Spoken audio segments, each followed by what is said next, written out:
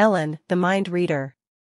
Once upon a time, in a quaint village nestled between rolling hills and whispering streams, lived a young girl named Ellen.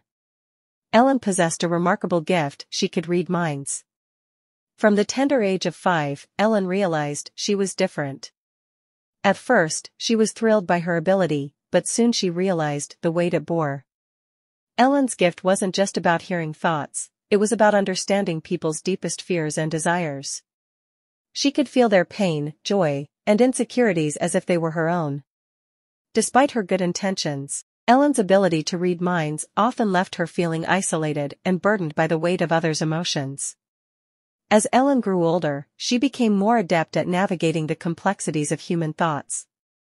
She used her gift to help her neighbors, offering comforting words and wise advice. Yet, the more she delved into people's minds, the more she understood the complexity of human nature. She learned that even the most well-intentioned hearts could be clouded by fear and misunderstanding. One day, a stranger came to the village claiming to be a fortune teller. Intrigued, the villagers flocked to hear their futures. Ellen watched from afar, sensing something amiss. As the stranger spoke, Ellen realized their predictions were nothing but elaborate lies crafted to exploit the villagers' vulnerabilities. Determined to protect her community, Ellen confronted the charlatan, revealing their true intentions to the astonished crowd. Grateful for Ellen's courage and honesty, the villagers celebrated her as a hero. They realized that true insight didn't come from mystical powers, but from empathy and understanding.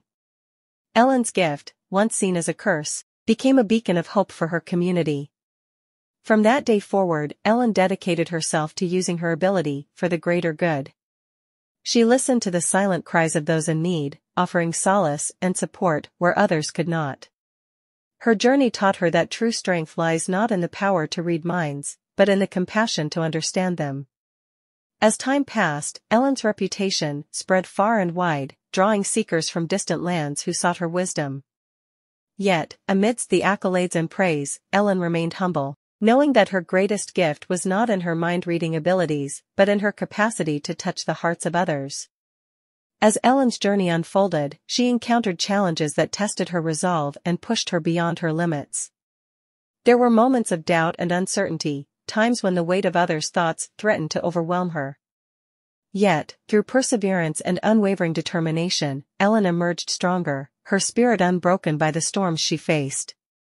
She learned that true resilience comes not from avoiding hardship, but from confronting it with grace and courage.